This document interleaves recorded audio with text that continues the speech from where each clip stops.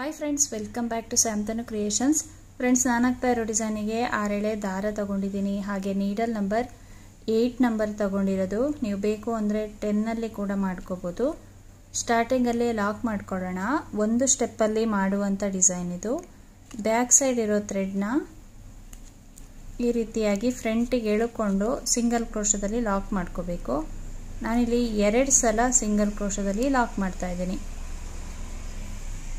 ನೋಡಿ, ಈ ಥರ ಇದಾದಮೇಲೆ ಎರಡು ಚೈನ್ನ ತಗೊಳ್ತಾ ಇದ್ದೀನಿ. ನೆಕ್ಸ್ಟು ನೀಡಲ್ ಮೇಲೆ ಒಂದ್ಸಲ ದಾರ ತಗೊಂಡು ಪಕ್ಕದಲ್ಲೇ ಒಂದು ಡಬಲ್ ಕ್ರೋಶನ ತಗೋಬೇಕು. ನೋಡಿ, ಈ ಥರ ಮೂರು ಲೂಪ್ ಬರುತ್ತೆ. ಎರಡರಲ್ಲಿ ಒಂದು ಮಾಡ್ಕೋಬೇಕು, ಮತ್ತೆರಡರಲ್ಲಿ ಒಂದು ಮಾಡ್ಕೋಬೇಕು. ಪಕ್ಕದಲ್ಲಿ ಇನ್ನೊಂದು ಡಬಲ್ ಕ್ರೋಶ ಎರಡರಲ್ಲಿ ಒಂದು ಮಾಡಿಕೊಂಡೆ, ಮತ್ತೆರಡರಲ್ಲಿ ಒಂದು ಮಾಡಿಕೊಂಡೆ. ಈ ರೀತಿ ಎರಡು ಡಬಲ್ ಕ್ರೋಶಗಳಾದಮೇಲೆ ಎರಡು ಚೈನ್ನ ತಗೋಬೇಕು. ಈ ಗ್ಯಾಪಲ್ಲಿ ಕುಚ್ಚು ಕಟ್ಕೊಳ್ಳೋದು. ಈ ರೀತಿ ಎರಡು ಚೈನ್ನ ತಗೊಂಡಾದ್ಮೇಲೆ ನೀಡಲ್ ಮೇಲೆ ಒಂದ್ಸಲ ದಾರ ತಗೊಂಡು ನೋಡಿ ಕರೆಕ್ಟಾಗಿ ಇಲ್ಲಿ ಎರಡು ಚೈನ್ ಆಗುವಷ್ಟು ನೋಡಿ ಇದು ಚೈನ್ ಎಷ್ಟಿದೆ ಅಲ್ವಾ? ಅಷ್ಟೇ ಗ್ಯಾಪ್ನ ಕೆಳಗಡೆ ಬಿಟ್ಟು ಅಲ್ಲಿಂದ ನಾವು ಡಬಲ್ ಕ್ರೋಶನ ತಗೋಬೇಕು. ನೋಡಿ ಈ ಥರ ಎರಡರಲ್ಲಿ ಒಂದು ಮಾಡ್ಕೋಬೇಕು, ಮತ್ತೆರಡರಲ್ಲಿ ಒಂದು ಮಾಡ್ಕೋಬೇಕು. ಪಕ್ಕದಲ್ಲಿ ಇನ್ನೊಂದು ಡಬಲ್ ಕ್ರೋಶ ಎರಡರಲ್ಲಿ ಒಂದು ಮತ್ತೆರಡರಲ್ಲಿ ಒಂದು. ನೋಡಿ ಈ ಥರ ಇದಾದಮೇಲೆ ಒಂದು ಚೈನ ತಗೊಳ್ತಾ ಇದ್ದೀನಿ.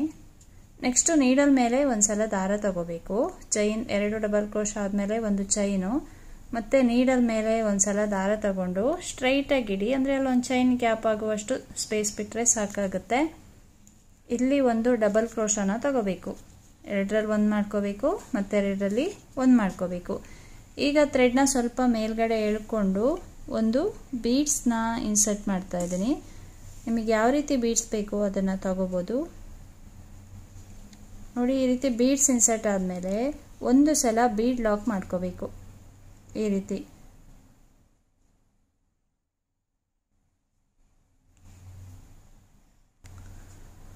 ಈ ರೀತಿ ಬೀಡ್ ಲಾಕ್ ಮಾಡಿಕೊಂಡು ನೀಡಲ್ ಮೇಲೆ ಒಂದು ಸಲ ದಾರ ತಗೊಂಡು ಇದೇನು ಡಬಲ್ ಕ್ರೋಶ ತಗೊಂಡಿರ್ತೀವಲ್ವಾ? ಇದಕ್ಕೆ ನಾವು ಪಫ್ ಡಿಸೈನ್ನ ಮಾಡ್ಕೋಬೇಕು. ಅಂದರೆ ಸ್ವಲ್ಪ ಡಿಫ್ರೆಂಟ್ ಆಗಿದೆ ಇದು. ನೋಡಿ, ಈ ಥರ ಮೂರು ಲೂಪ್ ಇರುತ್ತೆ ಇಲ್ಲಿ. ಎರಡರಲ್ಲಿ ಒಂದು ಮಾಡ್ಕೋಬೇಕು. ಮತ್ತೆ ಎರಡನ್ನು ಹಾಗೆ ಇಟ್ಕೋಬೇಕು. ನೋಡಿ, ಈ ಥರ ಎರಡರಲ್ಲಿ ಒಂದು ಮಾಡಿಕೊಂಡೆ, ಮತ್ತೆರಡು ಹಾಗೆ ಇಟ್ಕೊಂಡೆ. ಈಗ ನೀಡಲ್ ಮೇಲೆ ಒಂದ್ಸಲ ದಾರ ತಗೊಂಡು ಅದೇ ಡಬಲ್ ಕ್ರೋಶದ ಒಳಗಡೆ ಹೋಗಿ ಇನ್ನೊಂದು ಡಬಲ್ ಕ್ರೋಶ ಅಂದರೆ ಇಲ್ಲಿ ಎರಡನ್ನ ಒಂದು ಮಾಡ್ಕೋಬೇಕು, ಮತ್ತು ಇದನ್ನು ಹಾಗೆ ಬಿಡಬೇಕು. ನೋಡಿ, ಈ ಥರ ಬರುತ್ತೆ ಡಿಸೈನು. ನೀಡಲ್ ಮೇಲೆ ಒಂದ್ಸಲ ದಾರ ತಗೊಳ್ಳೋದು. ಇಲ್ಲಿ ಎರಡರಲ್ಲಿ ಒಂದು ಮಾಡ್ಕೋಬೇಕಷ್ಟೇ. ಬಾಕಿ ಒಂದು ಲೂಪ್ ಉಳಿಯುತ್ತೆ, ಅದನ್ನು ಹಾಗೇ ಇಟ್ಕೊಳ್ತಾ ಬರಬೇಕಾಗುತ್ತೆ ನಾವು. ನೀಡಲ್ ಮೇಲೆ ಒಂದ್ಸಲ ದಾರ. ನೋಡಿ, ಈ ಥರ ಎರಡರಲ್ಲಿ ಒಂದು ಮಾಡಿಕೊಂಡು ಮತ್ತೆ ಒಂದು ಲೂಪನ್ನು ಹಾಗೇ ಮೇಲ್ಗಡೆ ಎಳ್ಕೋಬೇಕು ನಾವು. ಇದೇ ಥರ ಡಿಸೈನ್ನ ಕಂಟಿನ್ಯೂ ಮಾಡ್ತಾ ಹೋಗ್ಬೇಕಾಗತ್ತೆ. ಇಲ್ಲಿ ಐದು ಇಲ್ಲ ಅಂದರೆ ಆರು ಸಲ ನಾವು ಈ ರೀತಿ ಡಬಲ್ ಕ್ರೋಶನ ತಗೋಬೇಕು. ಅಂದರೆ ಎರಡರಲ್ಲಿ ಒಂದು ಮಾಡ್ಕೋಬೇಕು, ಒಂದು ಆರು ಸಲ. ಅದಾದಮೇಲೆ ನೋಡಿ ಇಲ್ಲಿ ಎಷ್ಟು ಸಲ ಈ ಥರ ಉಳಿಯುತ್ತೆ ಅಲ್ವಾ? ಒಂದೊಂದು ಲೂಪು ಅದ್ರ ಒಳಗಡೆಯಿಂದ ನಾವು ಬ್ಯಾಕ್ ಸೈಡ್ ಇರೋ ಥ್ರೆಡ್ನ ಈ ರೀತಿ ತಗೋಬರ್ಬೇಕು. ನೋಡಿ, ಆರಾಮಾಗಿ ಬರುತ್ತೆ ಈ ಥರ ಇದಾದಮೇಲೆ ಒಂದು ಸಲ ಸಿಂಗಲ್ ಕ್ರೋಶದಲ್ಲಿ ಲಾಕ್ ಮಾಡ್ಕೋಬೇಕು. ನೋಡಿ, ಈ ಥರ ಪಫ್ ಡಿಸೈನ್ ಥರನೇ ಬರುತ್ತೆ. ಆದರೆ ಸ್ವಲ್ಪ ಅಗಲ ಆಗಿ ಚೆನ್ನಾಗಿ ಕಾಣಿಸುತ್ತೆ ಡಿಸೈನು. ಈಗ ಒಂದು ಚೈನ್ನ ತಗೊಳ್ತಾ ಇದ್ದೀನಿ. ನೆಕ್ಸ್ಟು ನೀಡಲ್ ಮೇಲೆ ಒಂದು ಸಲ ದಾರ ತಗೊಂಡು ಸ್ಟ್ರೈಟಾಗಿ ಇಡಬೇಕು. ನೋಡಿ, ಎಲ್ಲಿಗೆ ಬರುತ್ತೆ ಅಲ್ಲಿಗೆ? ಈ ಥರ ಎಲ್ಲ ಮಾಡೋಕ್ಕೆ ಹೋಗ್ಬಾರ್ದು ಅಥವಾ ಈ ಥರನೂ ಮಾಡೋಕ್ಕೆ ಹೋಗ್ಬಾರ್ದು. ಸ್ಟ್ರೈಟಾಗಿ ಎಲ್ಲಿಗೆ ಬರುತ್ತೆ ನೋಡಿಕೊಂಡು ಅಲ್ಲಿಂದನೇ ಡಬಲ್ ಕ್ರೋಶನ ತಗೋಬೇಕು. ನೋಡಿ, ಈ ಥರ. ಒಂದು ಡಬಲ್ ಕ್ರೋಶ ಆದಮೇಲೆ ಥ್ರೆಡ್ನ ಎಳ್ಕೊಂಡು ಒಂದು ಬೀಡ್ಸ್ನ ಇನ್ಸರ್ಟ್ ಮಾಡ್ಕೋಬೇಕು. ಬೀಡ್ಸ್ ಇನ್ಸರ್ಟ್ ಆದಮೇಲೆ ಬೀಡ್ ಲಾಕ್ ಮಾಡಿಕೊಂಡು ಈಗ ಪಫ್ ಡಿಸೈನ್ನ ಮಾಡ್ಕೊಳ್ಳೋದು. ನೀಡಲ್ ಮೇಲೆ ಒಂದು ಸಲ ದಾರ ತಗೊಂಡು ಇವಾಗ ಏನು ಡಬಲ್ ಕ್ರೋಶ ತಗೊಂಡಿರ್ತೀವಿ ಅಲ್ಲಿಂದ. ಎರಡರಲ್ಲಿ ಒಂದು ಮಾಡ್ಕೋಬೇಕು ಮತ್ತು ಎರಡನ್ನ ಹಾಗೆ ಬಿಡಬೇಕು. ನೀಡಲ್ ಮೇಲೆ ಒಂದು ಸಲ ದಾರ ತಗೊಂಡು ನೆಕ್ಸ್ಟು ಎರಡನ್ನು ಒಂದು ಮಾಡಿಕೊಂಡು ಮತ್ತೆ ಇಲ್ಲಿ ಒಂದು ಲೂಪ್ ಉಳಿಯುತ್ತೆ, ಅದನ್ನು ಹಾಗೆ ಬಿಡಬೇಕು. ಇದರ ಮೇಲೆ ಒಂದು ಸಲ ದಾರ. ಇದೇ ಥರ ನಾವು ಐದು ಇಲ್ಲ ಅಂದರೆ ಆರು ಸಲ ಮಾಡ್ಕೋಬೋದು. ನೋಡಿ, ಈ ಥರ ಒಂದೊಂದು ಲೂಪ್ನ ನಾವು ಹಾಗೇನೆ ಮೇಲೆ ತಂದು ಇಟ್ಕೋಬೇಕಾಗತ್ತೆ. ನೋಡಿ, ಈ ಥರ ಒಟ್ಟಿಗೆ ಆರು ಲೂಪ್ಗಳು ಅಲ್ಲಿ ಮೇಲ್ಗಡೆ ಇರಬೇಕು. ಆ ರೀತಿ ನಾವು ನೋಡ್ಕೋಬೇಕಾಗತ್ತೆ. ನೋಡಿ, ಈ ಥರ ಈಗ ಇಷ್ಟು ಲೂಪಿಂದ ಬ್ಯಾಕ್ ಸೈಡ್ ಇರೋ ದಾರನ ಇದ್ರ ಒಳಗಡೆಯಿಂದ ನೋಡಿ ಈ ರೀತಿ ನೀಟಾಗಿ ಎಳ್ಕೊಳ್ಳೋದು ಅಷ್ಟೇ. ಈಗ ಒಂದು ಸಲ ಲಾಕ್ ಮಾಡಿಕೊಂಡ್ರೆ ಆಯಿತು. ನೋಡಿ ಎಷ್ಟು ಅಗಲ, ಎಷ್ಟು ಚೆನ್ನಾಗಿ ಬರುತ್ತೆ ಇದು ಡಿಸೈನು. ಇದೇ ಥರ ಡಿಸೈನ್ನ ಕಂಟಿನ್ಯೂ ಮಾಡ್ತಾ ಹೋಗೋದಷ್ಟೇ. ನಿಮಗೆ ಬರೀ ಇದೇ ಥರ ಆರ್ಚ್ ಸಾಕು ಅಂದರೆ ಅದೇ ಥರನೂ ಮಾಡ್ಕೋಬೋದು. ಕುಚ್ಚು ಬೇಕು ಅಂತ ಹೇಳಿದರೆ ಆ ಕಡೆ ಈ ಕಡೆ ಎರಡು ಕಂಬನ ತಗೊಂಡು ಸೆಂಟ್ರಲ್ಲಿ ಎರಡು ಚೈನ್ ಗ್ಯಾಪ್ನ ತಗೊಂಡ್ರೆ ಅಲ್ಲಿ ಕುಚ್ಚನ್ನ ಕಟ್ಕೋಬೋದು. ಇದೇ ಥರ ಡಿಸೈನ್ನ ಕಂಟಿನ್ಯೂ ಮಾಡ್ತಾ ಹೋದರೆ ಆಯಿತು. ಈ ಥರ ನೋಡಿ ಇಲ್ಲಿ ನಾಲ್ಕು ಆರ್ಚ್ಗಳನ್ನು ಮಾಡ್ಕೊಂಡಿದ್ದೀನಿ. ಈಗ ಕುಚ್ಚು ಕಟ್ಕೊಳ್ತಾ ಇದ್ದೀನಿ. ಹಾಗಾಗಿ ಇಲ್ಲಿ ಆರ್ಚ್ ಕಂಪ್ಲೀಟ್ ಆದಮೇಲೆ ಒಂದು ಚೈನ ತಗೊಂಡು ನೀಡರ್ ಮೇಲೆ ಒಂದು ಸಲ ದಾರ ತಗೊಂಡು, ಎರಡು ಡಬಲ್ ಕ್ರೋಶಗಳನ್ನು ತಗೋಬೇಕು. ನೋಡಿ ಈ ಥರ ಪಕ್ಕ ಪಕ್ಕದಲ್ಲಿ ಎರಡು ಡಬಲ್ ಕ್ರೋಶನ ತಗೊಂಡು, ಅದಾದಮೇಲೆ ಎರಡು ಚೈನ ತಗೋಬೇಕು. ನೆಕ್ಸ್ಟು ನಾವು ಮತ್ತೆ ಎರಡು ಡಬಲ್ ಕ್ರೋಶಗಳನ್ನು ತಗೊಳ್ಳೋದು. ನೋಡಿ, ಈ ಥರ ಎರಡು ಚೈನ್ ಗ್ಯಾಪಲ್ಲಿ ಕುಚ್ಚು ಬರುತ್ತೆ. ಇದೇ ಥರ ಡಿಸೈನ್ನ ಕಂಟಿನ್ಯೂ ಮಾಡ್ತಾ ಹೋದರೆ ಆಯಿತು. ನಿಮಗೇನಾದರೂ ಕುಚ್ಚು ಬೇಡ ಅಂತ ಹೇಳಿದ್ರು ಈ ಡಿಸೈನ್ನ ಮಾಡ್ಕೋಬೋದು. ವಿತೌಟ್ ಕುಚ್ಚು ಅಂತ ಕೂಡ ಮಾಡ್ಕೋಬೋದು. ತುಂಬ ಚೆನ್ನಾಗಿ ಬರುತ್ತೆ. ಕುಚ್ಚು ಬೇಕು ಅಂತ ಹೇಳಿದರೆ ಈ ರೀತಿ ಎರಡು ಡಬಲ್ ಕ್ರೋಶಗಳನ್ನು ತಗೊಂಡು ಸೆಂಟ್ರಲ್ಲಿ ಎರಡು ಚೈನ್ ಗ್ಯಾಪ್ನ ಕೊಡಿ. ಕುಚ್ಚು ಬೇಡ ಅಂತ ಹೇಳಿದರೆ ಅದೇ ಥರ ಆರ್ಚ್ನ ಹಾಕ್ಕೊಂಡು ಕಂಟಿನ್ಯೂ ಮಾಡ್ತಾ ಹೋದರೆ ಆಯಿತು. ಇನ್ನೂ ಫಾಸ್ಟಾಗಿ ಹಾಕ್ತಾ ಹೋಗ್ಬೋದು ಡಿಸೈನ್ನ ನೋಡಿ, ಈ ಥರ ಇದಾದಮೇಲೆ ಒಂದು ಚೈನ ತಗೊಂಡು ನೆಕ್ಸ್ಟು ಒಂದು ಡಬಲ್ ಕ್ರೋಶನ ತಗೊಳ್ತಾ ಇದ್ದೀನಿ.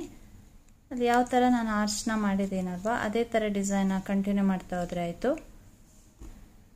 ಈಸಿಯಾಗಿ ಹಾಕುವಂಥದ್ದು ಒಂದೇ ಸ್ಟೆಪ್ಪಲ್ಲಿ ಮುಗ್ದೋಗುತ್ತೆ ಡಿಸೈನು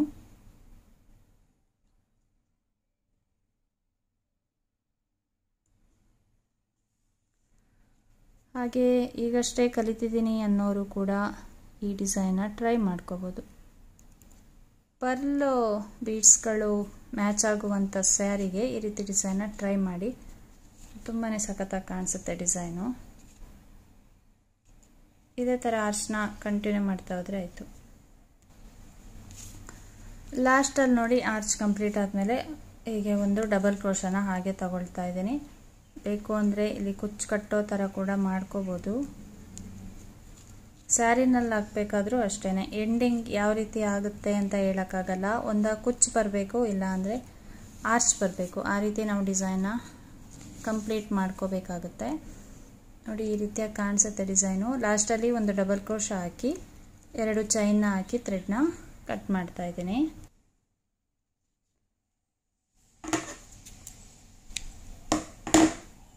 ಈ ರೀತಿ ಥ್ರೆಡ್ನ ಕಟ್ ಮಾಡಿಕೊಂಡ್ರೆ ಆಯಿತು.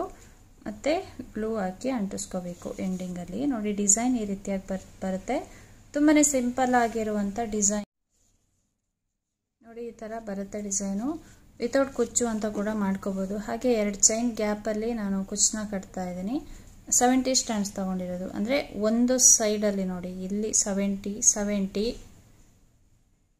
ಒನ್ ಫಾರ್ಟಿ ಆಗುತ್ತೆ. ಮತ್ತು ಅದು ಡಬಲ್ ಟು ಏಯ್ಟಿ ಆಗುತ್ತೆ ಇದು ನೋಡಿ. ಸೆವೆಂಟಿ ಸ್ಟ್ಯಾಂಡ್ಸ್ ಅಂದರೆ ಇಷ್ಟು ಇಷ್ಟು ದಪ್ಪ ಆದರೂ ಇರಬೇಕು, ಕುಚ್ಚು ಕಟ್ಕೊಡೋಕ್ಕೆ ಎಷ್ಟು ಬೇಕು ಅಷ್ಟುದ ನೋಡಿ ಈ ರೀತಿ ಥ್ರೆಡ್ನ ಕಟ್ ಮಾಡಿ.